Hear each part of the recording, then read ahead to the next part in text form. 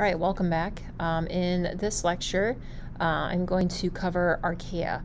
And so yesterday we covered bacteria. We went through characteristics of bacteria, uh, structure of bacteria, how do they obtain energy, and a few other special features on bacteria. And you had an assignment where you had to color the prokaryotic sheets. Um, and so here we go with archaea. I'm actually going to start off this lecture a little bit different. I came across a book in the library called Death in Yellowstone, and it was titled Accidents and Foolhardiness in the First National Park. And each chapter is dedicated to a way that you could die in Yellowstone. Like number one, hold fast to your children, death in hot water. Uh, chapter two, these animals are not real, the myth that can kill you. Uh, down to noxious fumes and a, and a death from poisonous gas. Lying in the snow, deaths from avalanches and freezing. Uh, caves, cave in, missiles from above, fallen rocks. Um, so there's a lot of different ways that you could die in Yellowstone. And this book out here, you know, does a great job describing all the ways you can die in Yellowstone. Now, why am I talking about death in Yellowstone? Well, I'm going to read an excerpt uh, from this book, starting right here. While the men looked at the hot springs, Ratliff's dog, Moosey, a large mastiff or Great Dane, escaped from the vehicle and jumped into a nearby Celestine pool. Celestine pool, sorry. A hot spring later measured at 202 degrees Fahrenheit. That's pretty hot. 212 is boiling. The dog began yelping, and someone nearby quipped, Oh, look, the poor thing. Kirwan and Ratliff rushed to the spring and stood on the edge of it. Ratliff and another bat bystander both saw Kirwan was preparing to go into the spring, and the bystander yelled, Don't go in there. Kirwan yelled back, Like hell I won't. Several more people yelled not to go in, but Kirwan took two steps into the pool, then dove headfirst into the boiling water. One witness described it as a flying swimming pool type dive. Visitor Earl Welch of Anniston, Alabama, saw Kirwan actually swim to the dog and attempt to take it to shore, go completely underwater again, then release the dog and began trying to climb out. Ronald Ratliff pulled Kirwan from the spring, sustained a second degree burns to his feet. Welch saw Kirwan appear to stagger backwards, so the visitor hastened to him and said, Give me your hand. Kirwan offered his hands, and Welch directed, Come to the sidewalk. As they moved slowly toward the walk, Kirwan managed to say, That was stupid. How bad am I? Welch tried to reassure him, and before they reached the walkway, Kirwan again spoke softly, That was a stupid thing I did. Welch was suddenly overwhelmed with the feeling that he, was walking with a corpse. He could see that Kirwan's entire body was badly burnt as the skin was already peeling off.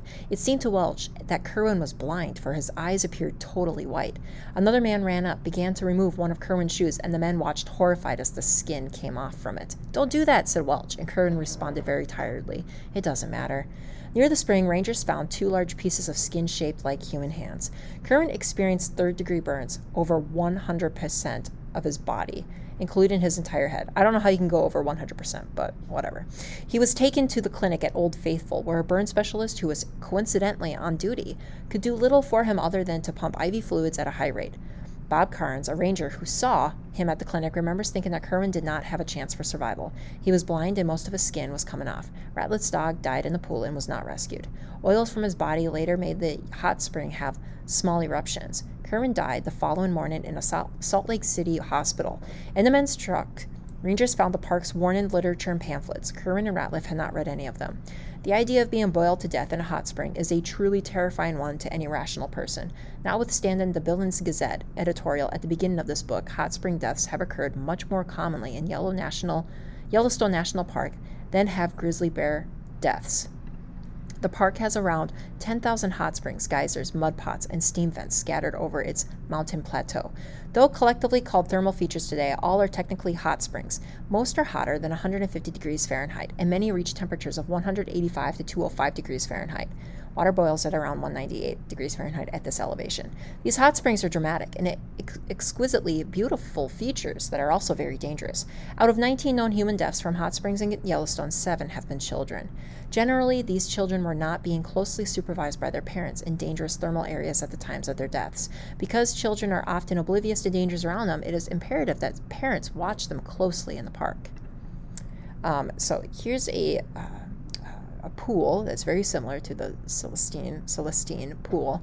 Um, you can see that's boiling, okay? And it's this beautiful, vibrant blue color. Take a look at these pictures animal bones and hot spring, okay? Dead trees and mammoth hot springs. So, my question to you is if the waters of Yellowstone are so deadly, do you think anything could survive in them? And the answer is yes. This is a perfect example. Okay? This is the Grand Prismatic Spring found in Yellowstone National Park. Um, you can see that it's this this kind of rainbow color, this dark blue, and it just kind of ranges out. And the hottest part is smack dab in the center. And as you reach the edge of the pools, uh, it gets a little bit cooler. And each color that you see is a species of archaea uh, that thrive in that environment. Evelyn Urbanski, please come down to the office. Evelyn Urbanski, please come down to the office. Thank you.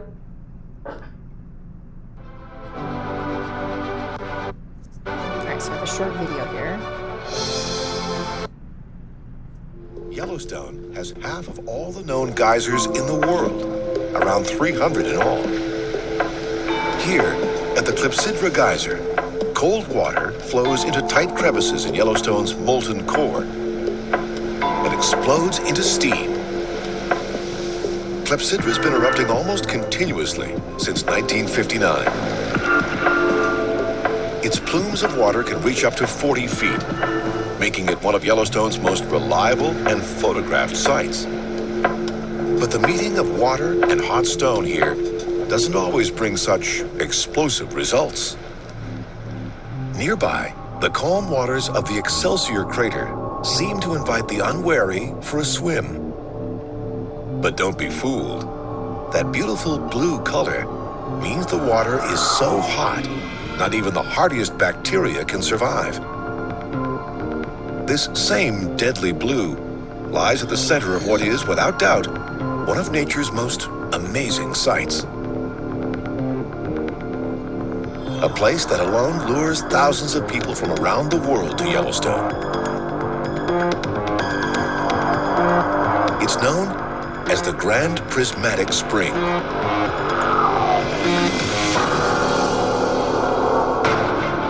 This is the largest hot spring in the U.S. and the third largest in the world. Its blue core may be deadly, but the colorful cooler bands at its edges are evidence the Grand Prismatic is also home to plenty of life. Each band supports a unique bacteria or algae that creates a color of its own. When visitors on the boardwalk of the Grand Prismatic cross patterns that look like giant flames, they are stepping over descendants of some of the earliest forms of life on Earth. These microbes, called thermophiles, or heat lovers, thrive in extreme environments like the waters of Grand Prismatic Spring.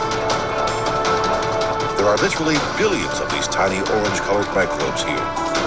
So many, they create dramatic flame-like patterns that look like a work of art that was painted by Mother Nature herself. Getting a chance to experience this colorful, steaming cauldron is why many come to Yellowstone in the first place. But there's nothing like seeing it all from the air.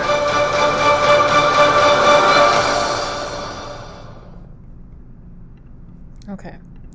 So I found this quote Nothing ever conceived by human art could equal the peculiar vividness and delicacy of color of these remarkable prismatic springs. Life becomes a privilege and a blessing after one has seen and thoroughly felt these incomparable types of nature's cunning skill. Um, so, like I said, there are some organisms that do thrive in extreme environments, and in that video they call them thermophiles or heat-loving um, organisms. And these organisms are called archaea. And uh, each color, okay, um, represents kind of a temperature change and a new organism occupying that temperature, kind of like a bambushka doll, where it's uh, layer upon layer or doll within doll. Um, so hardly, you know, any living thing lives in the center, but then as you edge out where the water cools, uh, now you start to see, um, you know, that there are some organisms that can thrive in those hot conditions. So archaea uh, is very similar to bacteria. Okay, first off, they are both considered prokaryotes, no nucleus or organelles, right? They have a cell wall, not like bacteria, but they do have a cell wall, and their DNA is circular. Um, differences to bacteria is that the ribosomes of archaea are similar to eukaryotes, not prokaryotes. Their plasma membrane is different. Um, here is bacteria and, and eukarya where we have a lipid bilayer, remember our cell membrane, two, two phospholipids. Um, with archaea, they are one layered. They are continuous. There's no break down here. And the big difference between archaea and bacteria is that they live in extreme environments. So here are some examples of extreme uh, environments, extreme salt levels, extreme ha- uh, halophiles. They love salt. They live in very salty water, such as ponds in San Francisco Bay, California. The water in the bay looks red because these archaea make red pigments. Hyperthermophiles. Hyperthermophiles love high heat. They live in very hot water, such as the nearly nearly boiling water of hot springs in Yellowstone National Park. Acidophiles love acid. They live in very acidic environments, such as acid mine drainage. Some can even survive in environments with negative pH values. Many are also hyperthermophilic. Uh, Now, why is this important? Okay, who cares? Who cares that we can find organisms at the bottom of the seafloor, in a hot spring in Yellowstone, underneath a subglacial lake in Antarctica, or even in a hot arid desert? Well, it does matter because these th- this is life and there are places outside of Earth, somewhere else in the universe, that have these identical conditions, and there could be life there. So, one um, case of of life that you know that we think might be a good spot where life could exist is a moon of Jupiter called Europa. And here's Jupiter, and Jupiter's got like over 63 moons, but there's one moon called Europa, and it is covered in ice, okay? And uh, it's not solid all the way through because of, of tidal pressures from Jupiter. Um, so we have this cold, brittle ice layer on top, a warmer, soft ice, and there's heat uh, in the center of Europa because of these the, the tidal pressures from Jupiter. And as a result, we could, um, you know, theoretically, we think that there's an ocean here.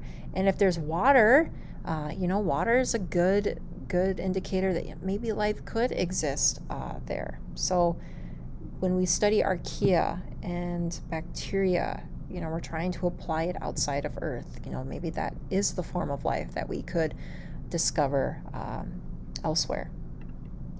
All right, so that does it for section 7.1.